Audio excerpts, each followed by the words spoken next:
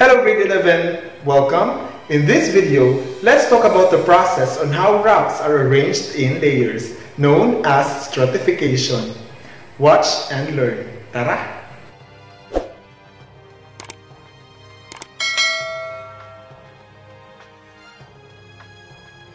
Our discussion will focus on the learning competency describe how layers of rocks are formed. At the end of the lesson, you should be able to 1. Define stratification and number 2. Describe the process on how stratified rocks are formed. You can see layers of rocks anywhere. These layered rocks are arranged naturally in the environment.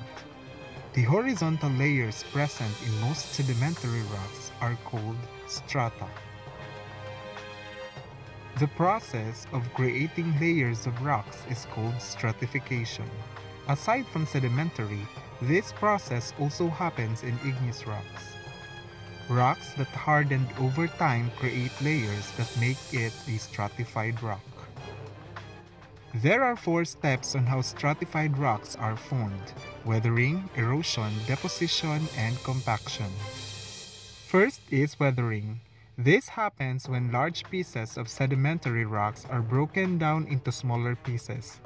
These pieces of rocks come together with other materials to form sediments.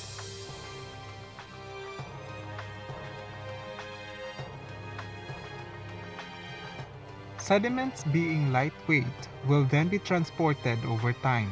The process of transporting rock particles and other materials from one place to another is called erosion.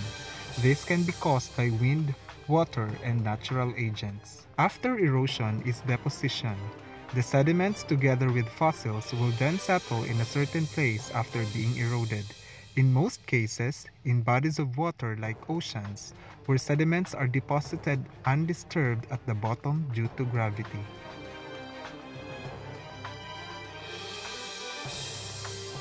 And we have compaction.